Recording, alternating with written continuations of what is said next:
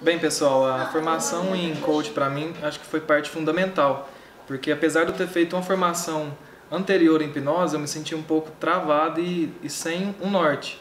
No que fazer, no que falar, porque muitas vezes eu vejo que a, eu via que a, somente a sessão de hipnose não era suficiente. E com o coach associado, eu acho que faz o norte, o sul, o leste, o oeste. Às vezes a pessoa procura algo que não está na hipnose, assim, no coach. Então, para mim, realmente foi uma formação transformadora. Eu entrei com um pouco de receio, pensando que eu não. Até mesmo com medo. Pensei, nossa, será que vai valer a pena? E eu saí totalmente transformado. Eu vejo que o investimento foi irrisório, porque a transformação que fez em mim foi muito maior do que aquele investimento. Então, aquele investimento, para mim, eu acho que se ele custasse cinco vezes mais eu pagaria pela transformação que fez em mim e pela transformação que eu vou fazer na vida das outras pessoas. Então, para mim, foi muito, valeu muito a pena. E eu aconselho a todo mundo, venha fazer o, o, o treinamento porque vale muito a pena. É isso aí.